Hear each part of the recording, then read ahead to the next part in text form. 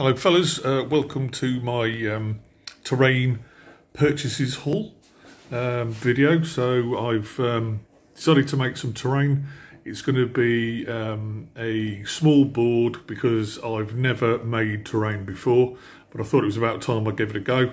So it's going to be um, primarily for doing some skirmishes in Anglo-Saxon England, um, specifically for the period after uh, the time of Arthur, but before the time of the Vikings. So around about 600-ish, something like that. Um, so I've got some miniatures on order for those, so you'll see those when they arrive. So uh, what have I got here? Well, this is just stuff that I've bought either from the local train stop shop um, or from um, the Range. Uh, the Range is a shop in uh, England that, or Britain I should say, that um, sells all sorts of stuff at reasonable price as well, so it's not too bad.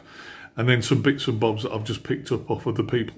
So uh, got some couple of sheets of uh, foam board. They're going to be for making uh, houses, etc. Um, then a pack of balsa wood, which has got all various sizes there. I don't know whether you can see. So uh, that's going to be for building the um, houses as well. There'll be cross members and various other bits, etc.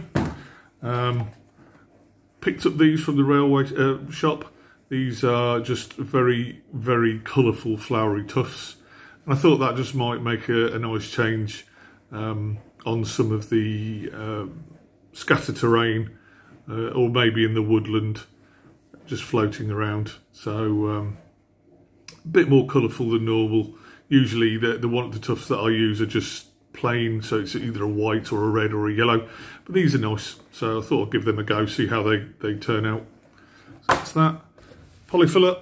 Um, for those of you who might be watching in America, this is spackle. Uh, it's just a basic filler, this is going to do all sorts of um, jobs uh, from rendering houses to uh, covering uh, terrain, etc. Um, so then I've got these, which are scouring pads. These are going to become thatch roofing on the houses that I'm going to create. Now the houses I'm going to do are A-frame houses. I've done a little bit of research and it seems that the Saxons were still using these and indeed there's some um, some of the uh, museums in England that actually have houses uh, recreated. They've um, they've got these these particular A-frame houses on display. So the nice thing about the that are doing that is they'll work for the uh, early part of the Dark Age. I'm not so sure so, so sure how they'd be if I was heading towards uh, the Battle of Hastings, etc. I kind of think that kind of house might have been left behind for um, a more modern look at that time. Uh, however, they will work very well for um, Germanic tribes in infamy, infamy, or indeed any other ancient set that we set of rules that we might happen to play. So that's those.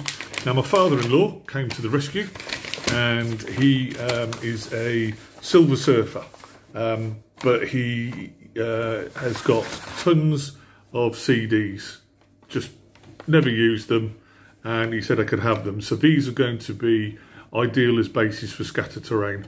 So uh, a couple of trees on them, uh, maybe a pond, maybe um, uh, an animal enclosure. I'm, I'm, sort of just going to be dabbling to see how it goes with, with, these, but he's given me quite a few, so that's really good of him. So I've got those. Um, then I'm going to have a go at making my own trees because trees are quite expensive. So I've got these. These are from Woodland Scenics. Um, there's 12 armatures in there to make trees and um, they're between 5 inches and 7 inches tall so that should do for 28 mil there. I don't know whether you can see but they're roughly about that height so yeah that should be alright um, I would prefer to have had a few more different sizes but like I say this is my first time at doing terrain and um, trees etc so go with those. Um, then I have two different types of clump foliage, both from um, from, um, where's it from? Um, oh, Woodland Scenic, sorry, yeah, both from Woodland Scenics.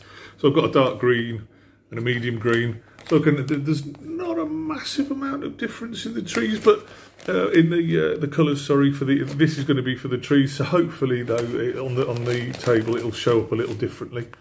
Um, then I've got three again from Woodland Scenics. I've got one, two, three packs of um, static grass. Uh, this is four mil.